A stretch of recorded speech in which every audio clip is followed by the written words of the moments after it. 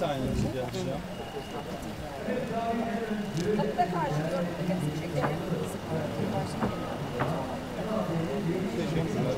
Kolay gelsin. Çok kısa bir röportaj. Tabii. Diğer kadrodaki arkadaşlarınızla röportaj Evet. yaptık ama sizinle yapamadık.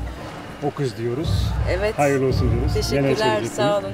Vallahi çok mutluyuz, heyecanlıyız. Çalışıyoruz bir süredir. Şimdi önümüzdeki hafta galiba seyirciyle eee şey kavuşacak işimiz.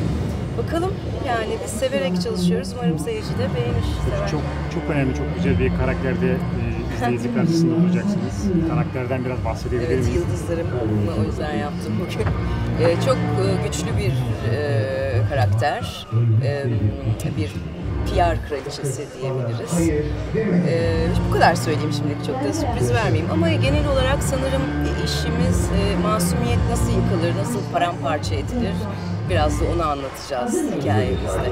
Hikayede biraz kadına e, Evet, anlatan hikaye evet. çok olacak. Peki son olarak e, Erkan Bey'i sorayım, Erkan Evet. Bey'i söyleyeyim. Uzun yıllar sonra tekrardan Evet. birlikteysiniz. Evet yıllar oldu yani sanırım 17 sene e, oldu galiba. Ya çok heyecan verici tabii ki bir daha beraber çok güzel bir iş yapmıştık geçmişte.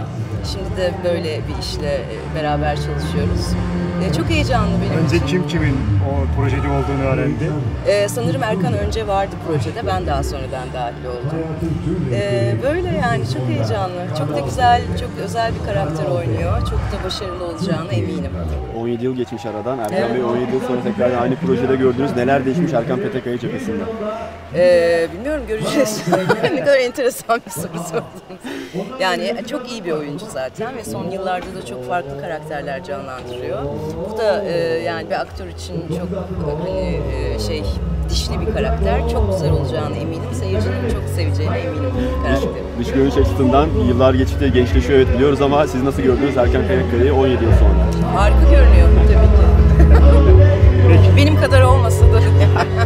çok teşekkür ediyoruz. Tekrardan hayırlı olsun diyoruz. Teşekkürler. Çok, Çok sağ olun. teşekkürler, sağ olun. Kolay gelsin.